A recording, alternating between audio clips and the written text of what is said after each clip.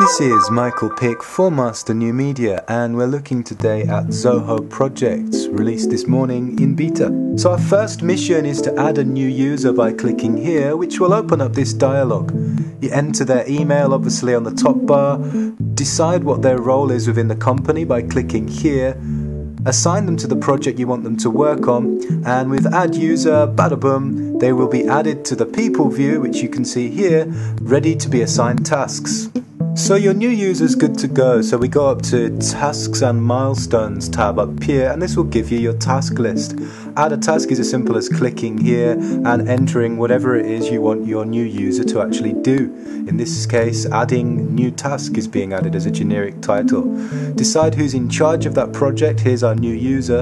And there are also advanced options. You can add a start date, a priority, how long you want the project to last, or a percent completed. Add task puts that onto our list.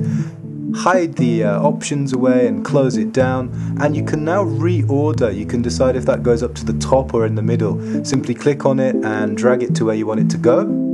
In this case, it goes up to the top, maybe a high priority task, and save the order, and that's locked in. When you've finished the tasks, all you have to do is click the checkbox, and that will appear down in the completed section below.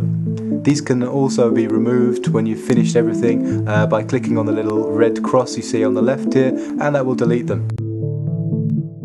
Now another way of adding tasks is through the calendar view. You can actually add them directly into the calendar by clicking on this green box here. Uh, type in your task and you have all of the same options that you'd have in the tasks and milestones dialog box, which is really nice.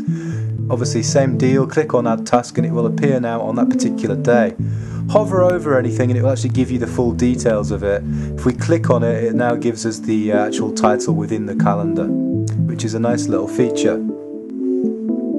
If we go up here to all milestones, this will show you a nice graphical view of the project you've got going and how long they're going to last. Um, each different project is individually color coded and as you can see if you hover over the project it will give you the details of the start date, the end date and uh, let you know other details about the project which is very nice.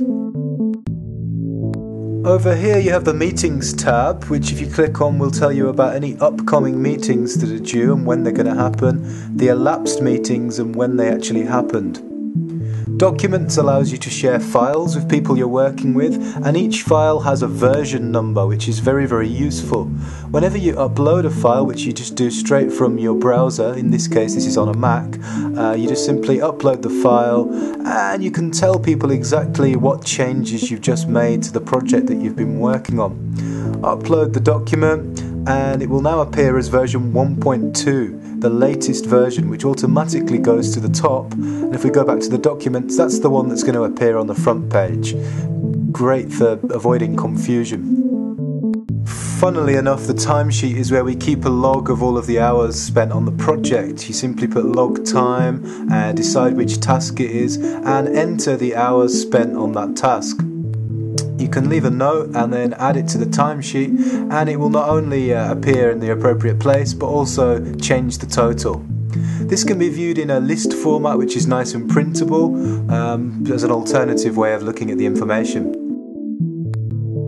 Hopping over to the dashboard, you can now see all of the tasks that have been completed in a particular time frame will appear on the latest project activity. This is a great way for people to know exactly where things are, uh, exactly what's just been done when they come and join a session. So that's a very nice feature and that's right on the front page, it's the first thing you see.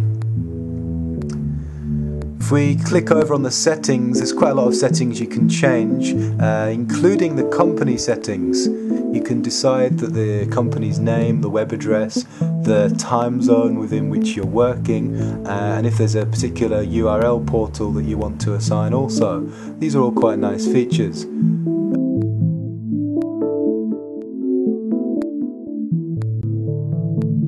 The other thing that's worth mentioning is you can change the company logo. You don't have to have Zoho Project.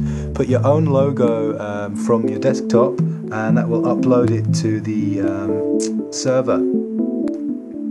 You now have that logo up there on the top left, so it's what everyone's going to see throughout the project. Finally, if you log out, when you come back in, you'll also see that the company logo is there as well. There's no mention that you're using Zoho projects, which is nice. I think it's great that they've allowed you to customize that. So there you go, well worth checking out if you have any project management needs at all.